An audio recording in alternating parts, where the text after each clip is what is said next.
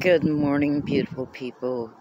Hit that like button, subscribe to my page, hit the bell notification, leave a comment down below.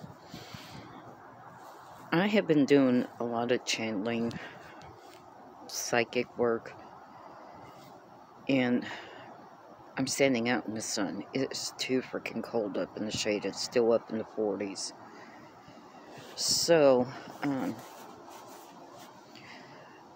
the channeling, the psychic work, and Nadia Thompson came to me again. She's so scared, so scared, so scared, so scared. So scared. Dang, every time I talk about her, my neck hurts. Oh.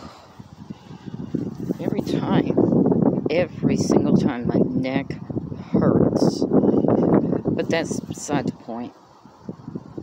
And we had to find justice for Danydia Thompson. This murderer has been on the streets for way too long. She keeps showing me a brown plaid shirt, button down. Button down, brown plaid shirt. Something to do with a white van, like an older model work van. Uh, homeless. The person was homeless, living in the woods that's where he took her. Some about evidence not there. In the number three, I keep hearing three, three, three. I don't know what that means. And then I I'm gonna say the names that she's given me. Sheffield. I don't know who Sheffield is.